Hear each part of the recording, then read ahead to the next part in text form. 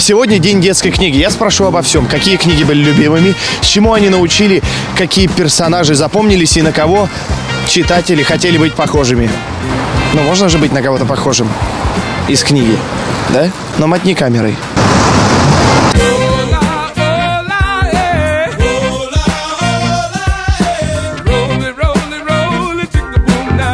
Здравствуйте. Нет.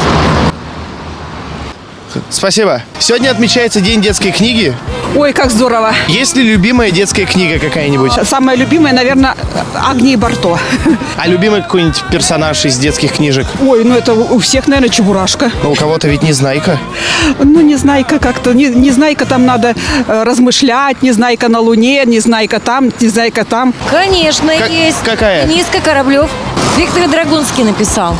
А Я не помню такой книги. Вот видите, как плохо. А Там, там про что?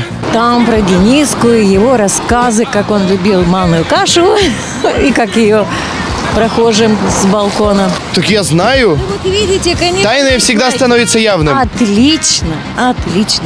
Про Чиполлино помню. Э, Корнея Чуковского. Путаница.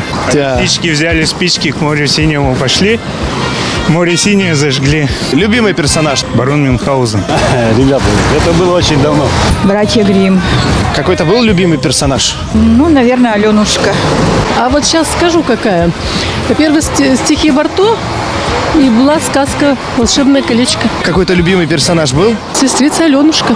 Да раньше в деревне люди там не больно сказки читали. Что делали-то? По улицам бегали, играли. Вот. У нас есть любимые раскраски. А книги? А там в раскрасках тоже есть рассказы. Незнайка на Луне. Ну и, соответственно, любимый Я персонаж. несколько раз читал. Незнайка, конечно. Можно, наверное, и, и сейчас даже перечитать. Ну, это уже вряд ли. П- Почему? Ну, сколько может быть.